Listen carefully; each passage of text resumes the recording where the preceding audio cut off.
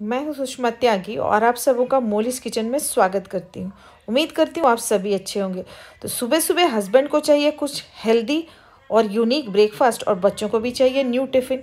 तो ऐसे में आलू पूड़ी से बेटर और क्या हो सकता है? जो कि बनाने में है एकदम ईजी और खाने में है उतना ही लजीज।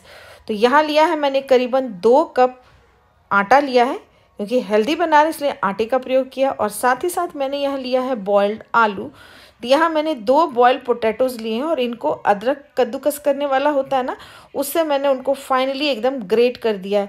आलू जब अच्छी तरीके से आप कद्दूकस करेंगे तो ये आटे में अच्छी तरीके से मिक्स हो जाएँगे और तभी हमारी पूरियाँ जो है वो फूली फूली बनेंगी। अब इसमें मैं डाल रही हूँ नमक स्वाद अनुसार। साथ ही साथ डाला है हल्दी पाउडर हाफ़ टी डाल रही हूँ ससमे सीड जिसको रोस्ट करके रखा था। जीरा डाला है हाफ़ टी एस पी और साथ ही साथ one fourth T S P मैं डाल रही हूँ अजवाइन। तो इसको हाथों से क्रश कर कर ही डालें, तभी इसका स्वाद बहुत अच्छा आएगा पूड़ियों में। तो ये मैंने अजवाइन भी डाल दिया। और अब इसमें डालिए थोड़ी सी हरी, लाल मिर्ची। आप चाहें तो हरी मिर्ची भी डाल सकते हैं। और क्रिस्पी और करारापन लाने के लिए मैंने यहाँ पे डाले दो चम्मच सूजी। मोटी या पतली किसी भी सूजी का प्रयोग कर सकते हैं। साथ ही साथ एक मुट्ठी डालिए हरी धनिया की पत्तियाँ। और इन सबों को अच्छी तरीके से हम मसलते हुए मिक्स करेंगे। ताकि यदि आलू के कोई भी छोटी मोटी बड़ी पीसेज हैं तो अच्छी तरीके से इसमें मैश हो जाए। अब ज़रूरत हिसाब पानी डालकर हमें इसका एक सॉफ्ट डो लगाना है। ध्यान रहे, पानी एक बार में ही ज़्यादा ना डालें अदरवाइज़ हमारा आटा जो है वो गीला हो जाएगा। तो अच्छी तरीके से आटे को मलना है और पानी थोड़ा थोड़ा डालना है। तो इसको मलने में करीबन मेरा एक कप पानी लगा अब इसमें मैं थोड़ा डाल रही हूँ दो चम्मच तेल। आप चाहें तो घी का भी प्रयोग कर सकते हैं।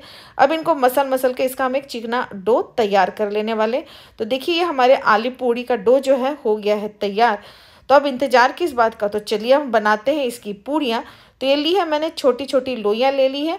पूड़ियों के आकार के हिसाब से आप अपनी लोइयाँ लें और इसको मैंने चकले पे पहले राउंड राउंड गोल किया है।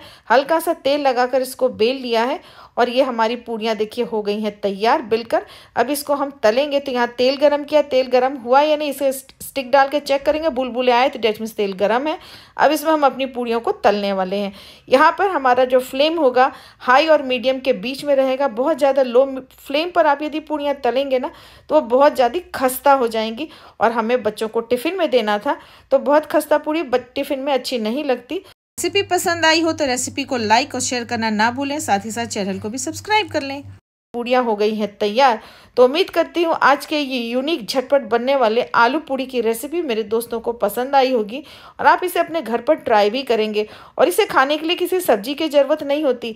आप या तो मिर्ची के अचार के साथ या गर्मा गर्म चाय की प्यालियों के साथ इस पूड़ी का मज़ा ले सकते हैं। Thanks for watching bye